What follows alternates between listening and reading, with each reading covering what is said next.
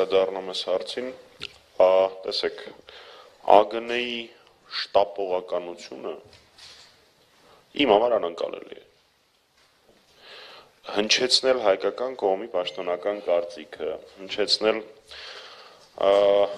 որում բավական կատեգորիկ ձևակերպումով իմ համար անհասկանալի է, որովհետև մի կողմ դնելով մեր ռազմավարական դաշնակցի հետ հարաբերությունները, ինչպես գործընկերս նշեց, այստեղ նաև արկա է միջազգային իրավունքի խնդիր։ Ազգերի ինքնորոշման իրացման տեսանկյունից։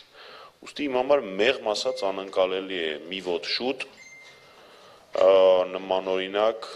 դիրքորոշման հայտնումը ուշադրություն դարձրեք ես դիրքորոշման բովանդակության մասին դեռ չեմ խոսում ես առհասարակ շտապողականության մասին եմ խոսում որովհետև համարժեք կարգավիճակում Հայաստանի պես համարժեք կարգավիճակում նկատի ունեմ դաշնակցային, նկատի ունեմ աշխարհակահաղական եւ այլն գտնվող երկրները դեռևս այդ շտապողականությունը չեն դրսևորել չբերեք Թուրքիայի ԱԳՆ-ի հայտարարություն, Թուրքիան ՆԱՏՕ-ի անդամ երկիր է։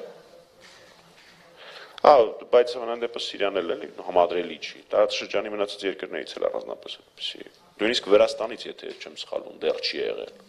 Վրաստանից։ Հա, չեմ բոլորը գիտեն թե ինչի եմ նշում հենց Վրաստան։ Նույնիսկ Վրաստանը դեռ չի արտահայտվել, եթե ես չեմ բաց թողել որևէ բան հիմա այդ մի րոպե շուտ ստատուս գրելու մոտեցումը այդքան շուտ ինֆորմացիա եւ դիրքորոշում հայտնելու տեսանկյունից նույն կերպ